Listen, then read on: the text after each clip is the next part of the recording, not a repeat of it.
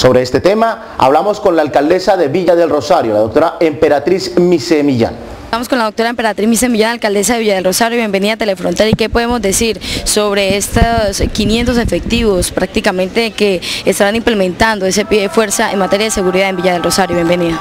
Bueno, esta es la respuesta a una serie de comunicados que enviamos al nivel nacional, tanto al Ministerio de Defensa como al Ministerio del Interior y al mismo general Naranjo, donde le pedíamos que nos ampliaran el pie de fuerza y que se hiciera una toma como la que se hizo en, el, en Cali, para erradicar de una vez por todas las bandas criminales en nuestro municipio pues contenta porque en el día de ayer tuvimos la presencia del general Jorge eh, Gutiérrez, de donde él efectivamente eh, ha respondido de inmediato y vemos que se va a hacer un desplazamiento de 500 hombres en Villa del Rosario para hacer el trabajo que tienen que hacer, pero también pedirle a la comunidad que nos ayude a denunciar estos hechos que ellos vean sospechosos, personas inescrupulosas, personas que crean que eh, tienen en su mente hacer cualquier fechoría, que las denuncien, porque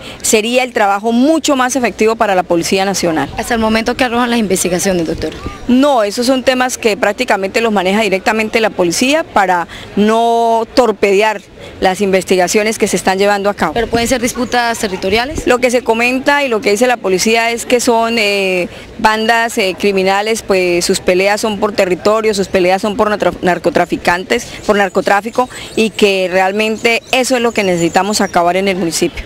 Doctora, esto eh, se puede decir que hay un punto de encuentro entre las muertes que se han estado presentando en Villa del Rosario, las cuales ascienden a 14, y ese tema de las llamadas extorsivas que estuvo intimidando al comercio de Villa del Rosario. Pienso que son dos hechos aislados. Eh, un tema es que venían haciendo los de las cárceles y que afortunadamente eh, los comerciantes reaccionaron a tiempo y no se dejaron extorsionar.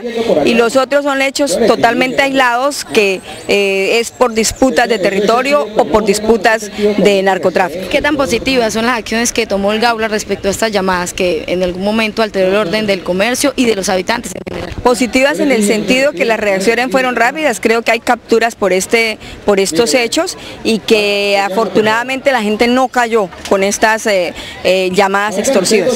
La comunidad pueda estar tranquila de que se va a hacer un trabajo conjunto para poder eh, dejar y seguir que nuestro municipio esté limpio de todas estas bandas criminales.